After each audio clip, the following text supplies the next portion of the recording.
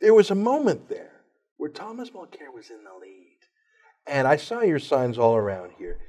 A guy's got a dream. I mean, even if a guy starts up saying, I know that the NDP haven't won here before, and I know we're the underdog, a guy, if even if he would never admit it publicly, he's got a dream about what it would be to win. Absolutely. And, even have a and that, that's that's the point of a lot of those satirical bits. You know, having it, it's a bit of mischief, a bit of fun for me, and a few chapters start with me imagining. And what happens is I'm imagining myself in positions of less and less power. So at the beginning, I'm a, a cocksure guy on the floor of the House of Commons.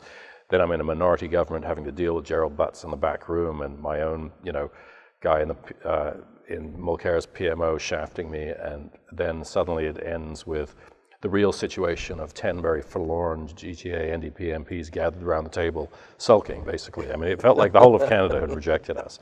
But you're right. I mean, you know, I knew in the beginning that I was there. I hoped to elevate the argument. We both believe in argument. We both believe in debate.